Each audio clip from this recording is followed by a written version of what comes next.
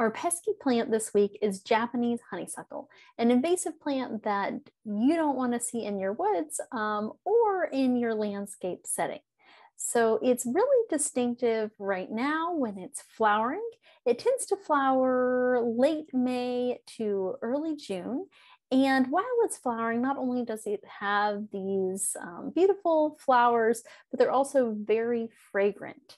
And you might have seen this and thought, I love this plant, but don't be deceived. Um, Japanese honeysuckle can take over and cause problems um, in your woods as well as in other settings.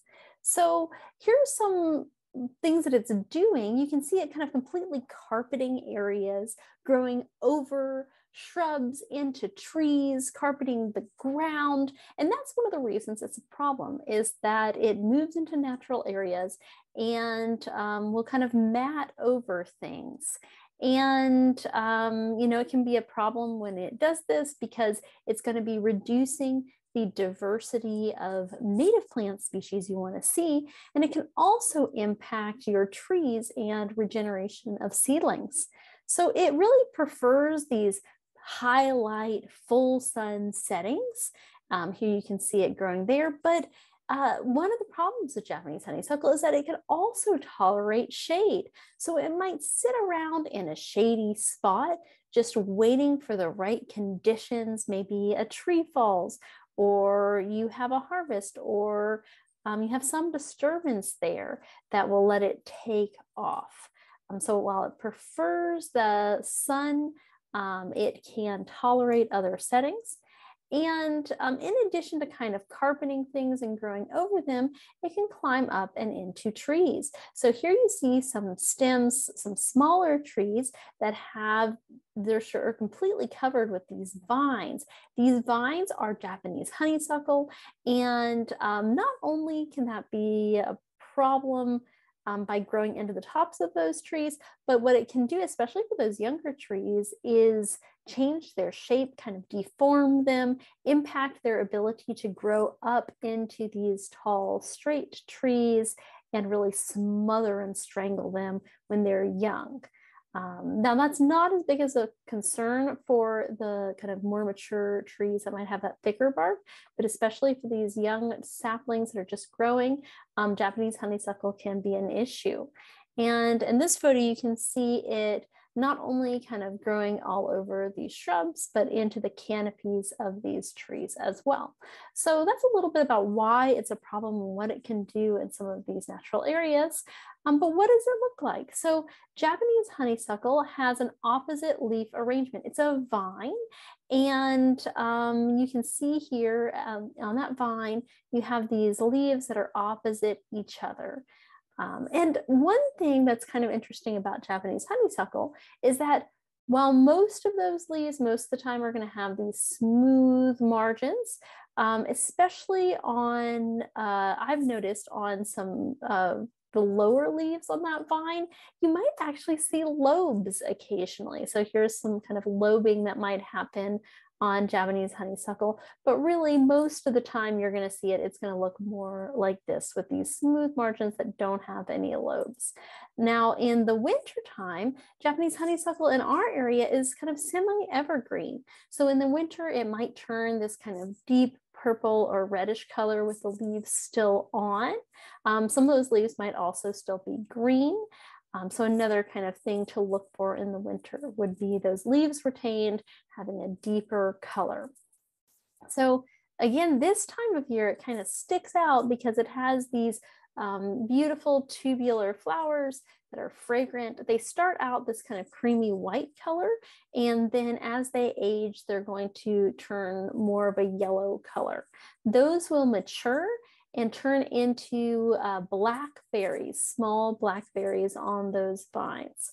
Um, just a kind of another thing to look for in identification would be the bark of the Japanese honeysuckle, those small vines. They kind of have this shredded bark. And if you were to cut a small stem of it um, kind of open, you would see that it's hollow on the inside. The center of that um, stem is hollow. And you may th- be thinking, this sounds kind of familiar. I've seen lots of honeysuckle, but it's more in a shrub form. And there are some lookalikes, the number one of which I'd say is a different invasive honeysuckle.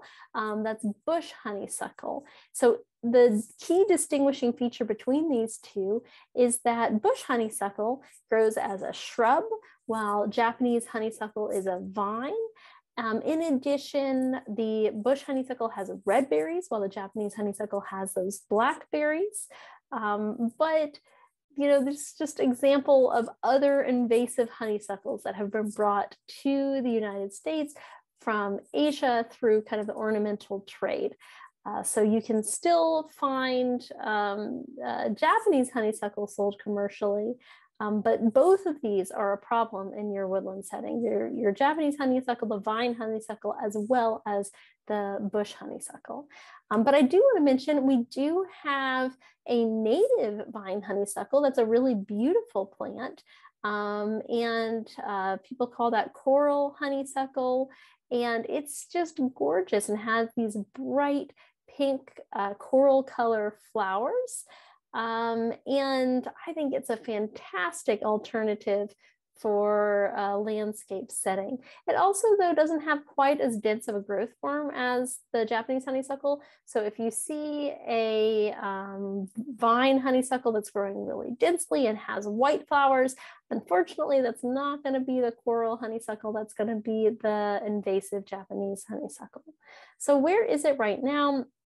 As you can see from this map, it's pretty much everywhere. There's Japanese honeysuckle all over the place, and it's certainly not helped by the fact that you can still find it sold commercially by um, nurseries and retailers, uh, despite the fact that it's invasive.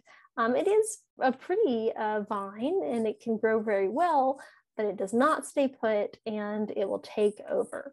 Um, so what do you do if you have it? So if you'd like to get rid of it on your property, there are several different options.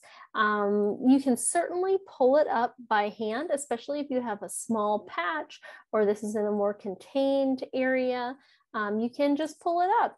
And, uh, you know, for any management practice with honeysuckle, um, winter can be a good time because Japanese honeysuckle is semi-evergreen. So it will stick out a little bit more in the winter while it retains some of those uh, leaves um, when our natives have lost them. So you can certainly pull it up by hand. Um, you can also cut the vines out of trees. Um, so that can be useful to prevent them from overtopping those trees and impacting that growth long term. Um, there are also lots of foliar herbicide options out there for Japanese honeysuckle. And um, a really good tip would be to apply those anytime kind of in the winter, that October to April period, as long as we have suitable temperatures, because then the other native plants that you want to keep aren't likely to take up that herbicide because they won't have leaves on. They're going to have lost their leaves for the winter, whereas um, Japanese honeysuckle will have retained it. And just a quick note that in this photo, you see someone spraying not Japanese honeysuckle, but another invasive plant that you can be on the lookout for right now, and that is poison hemlock, um, again with that foliar spray. So you can see they're wearing their um, personal protective equipment and applying that to the leaves. Um, so another option, if this area is mobile, you can prevent Japanese honeysuckle from setting seed by mowing it, but just to note that that won't kill the underlying root system. So it's going to kind of keep coming back in that case.